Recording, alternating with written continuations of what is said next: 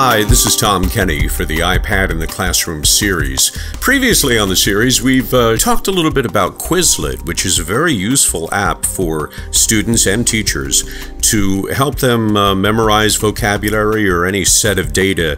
Now, I want to show you a website that I stumbled across in my search. The name of the website is flashcardapps.info. Just a site that a guy who had a lot of free time on his hands uh, decided to put up to help people like you and me figure out which app is exactly the app that I need. Now, because I have Quizlet already, I want to choose an app that uh, will allow me to import uh, data right from my Quizlet account so that I don't have to make cards from scratch. One of those is called A Plus Pro.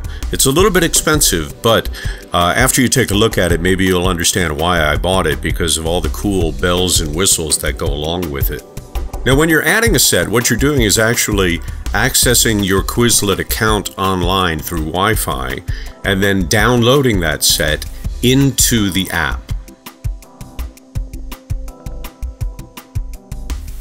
So you press download and import. And voila, you've got uh, maybe 30 cards. So here, we've got age, you hit it, and then it shows you the Japanese version of it. Anyone, dareka. And on the sides here, don't know, not sure, no. These are called Leitner boxes, and they keep a track of uh, what you know and what you don't know so that you don't have to go back and review every card that you already know. All you have to do is review the cards that you weren't sure about, or absolutely didn't know. At the end of a study session of A Plus Pro, you can see how well you've done. You know, 60% no, 20% not sure.